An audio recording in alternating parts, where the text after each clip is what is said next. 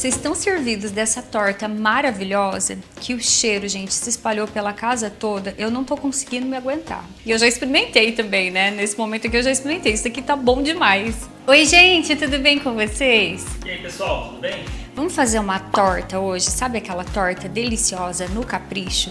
Para aquele dia que você está enjoado de comer comida, à tardezinha ali, na hora do jantar, ou então como café da tarde também é perfeito. Qualquer momento, né? Uma torta caprichada dessa vai cair muito bem. Então bora começar? E para começar aqui no jarro do liquidificador, vem com uma xícara de leite, xícara de 240 ml, uma xícara de água, pode usar tudo leite se quiser. É que a massa, quando a gente usa leite, fica um pouco mais pesadinha, né? Então, por isso que eu estou usando metade, metade. Meia xícara de óleo. Três ovos inteiros. 50 gramas de queijo parmesão ralado. E uma pitada de sal. Agora eu vou colocar esses ingredientes para liquidificar até ficar homogêneo. E quando ficar homogêneo, eu vou ir colocando a farinha de trigo por esse buraquinho aqui, ó, aos poucos. Então aqui eu tenho duas xícaras daquela de 240 ml de farinha de trigo.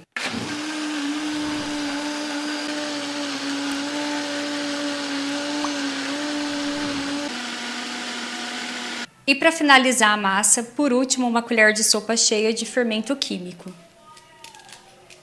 Aí coloca para liquidificar só mais um pouquinho, só para o fermento misturar.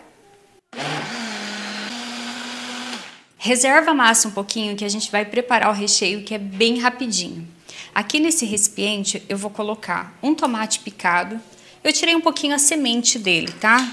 Tá com a casca, mas eu tirei o excesso de semente aqui, ó. Meia cebola picada, uma lata de milho verde escorrido, um pouco de azeitona, porque eu gosto muito. Aqui tem umas três colheres de sopa de azeitona. Se você não gostar, é só não colocar. E aqui um pedacinho de cada pimentão, vermelho, amarelo e verde. O verde eu coloquei um pouquinho menos, que ele é mais forte. Vou colocar um pedacinho de cada pimentão. E vou dar uma temperada nesses ingredientes. Vou colocar uma pitada de sal, pimenta do reino, orégano, e um pouquinho de azeite.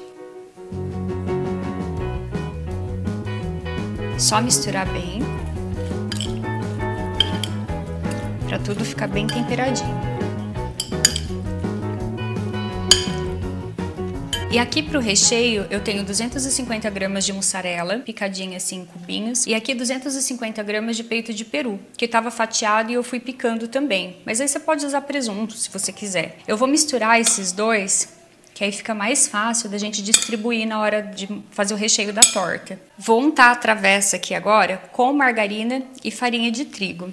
Caso já mediu o tamanho da travessa? Essa é 35 por 23.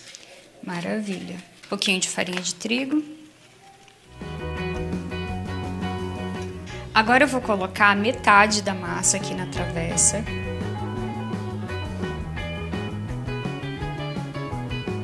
Espalha bem.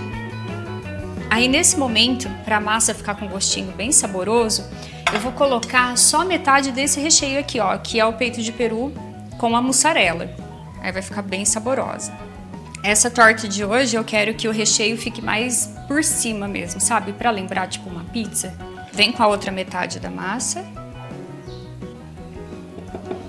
Dá mais uma espalhada.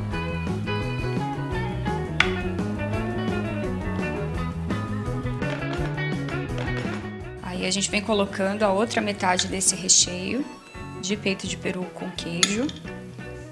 Gente, mas isso vai ficar bom de um tanto. Vai dando fome, né? Vai dando fome. Olha o cheiro do recheio. O forno já tá ali quentinho, só esperando. Olha, eu tô achando que eu deixei mais para colocar depois mesmo, viu, Casu? Será que eu coloquei? Será que eu fui honesto? Coloquei a metade ali? Acho que foi mais ou menos a metade, né? O presunto tá bem picadinho, olha, espalhou bastante.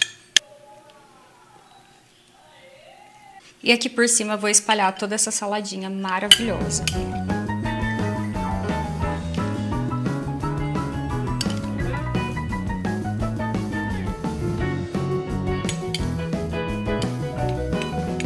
Espalha bem o recheio. Aí é só levar ao forno já pré-aquecido a 180 graus. Depois eu falo o tempo. Agora é só esperar essa delícia ficar pronta. Já tô chamando de delícia porque só o cheiro já não tem como dar errado esse negócio. Incendiou a casa esse cheiro maravilhoso com o recheio aqui. Nossa, já tá no forno o apetite abriu. Mas enquanto isso, enquanto a gente tem que esperar, chegou o seu momento de curtir o nosso vídeo. Sim, eu tô te lembrando. E a gente vai soltar aqueles preciosos 5 segundinhos para você soltar o dedo no like, porque é mais do que suficiente. Vamos lá, vamos contar juntos? Vamos lá, pessoal. Um, dois, três, quatro, cinco. Muito, muito, muito obrigada a você que curtiu o nosso vídeo, porque você sabe, né, que isso colabora demais com o nosso trabalho.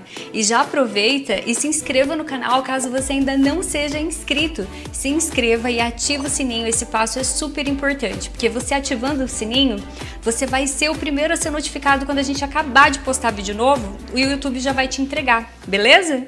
E depois de 40 minutos no forno e um tempinho aí fora, né, para esfriar um pouquinho, a torta ficou pronta, gente. Olha que coisa mais linda. Joguei um fiozinho de azeite por cima para ficar mais bonito, não ficar tão sequinho. Coloquei aqui um azeitezinho por cima. Agora vamos provar, que eu não aguento mais esperar. Vamos lá?